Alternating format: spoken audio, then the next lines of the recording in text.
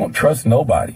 Okay, for all you people who are open with your support of Trump, hey, respect to you because you're not afraid to stand on your beliefs or stand by a man openly. If that's what you believe, you have the right to believe it. But what I don't respect is you cowards, you in the closet Trump supporters who act like everything he says is so bad in public, but in private, you was rooting for him and you voted for him. We are surrounded by sneaky Trump supporters and statistics show 89% of covert Trump supporters are covert racists. Okay?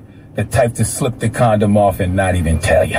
All right? Now, my daughter, eight years old. All she knows is President Barack Obama. So for me, I just think it shapes your mind a different way when all you've seen is a black man in the White House, and then we would have transitioned into a woman president. I just feel like that would have energized her in a certain way. I honestly felt when it came to the president of the United States of America, I honestly felt white men were too played out for that position.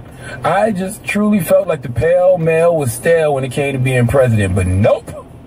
And I just kept trying to figure out how to explain this to my daughter without discouraging her or planting negative seeds in her that could grow to some form of prejudice. And I still haven't quite figured out how to explain to her why and how Donald J. Trump became president. But then I came across my man Van Jones on CNN. Drop on the clues bombs for Van Jones. He explained how a lot of us are feeling right now. Play Van Jones from CNN last night. People have talked about a miracle. I'm hearing about a nightmare. It's hard to be a parent tonight for a lot of us. You tell your kids, don't be a bully, don't be a bigot, do your homework, and be prepared. And then you have this outcome, and you have people putting children to bed tonight. They're afraid of breakfast.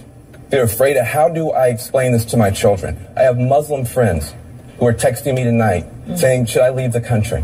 Families of immigrants that are terrified tonight.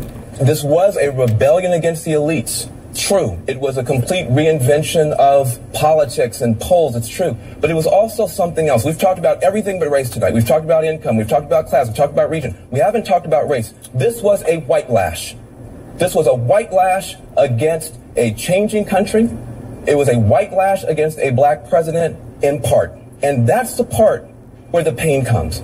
And Donald Trump has a responsibility tonight to come out and reassure people that he is going to be the president of all the people who he insulted and offended and brushed aside. Yeah, when you say you, know, you want to take your country back, you got a lot of people who feel that we're not represented well either.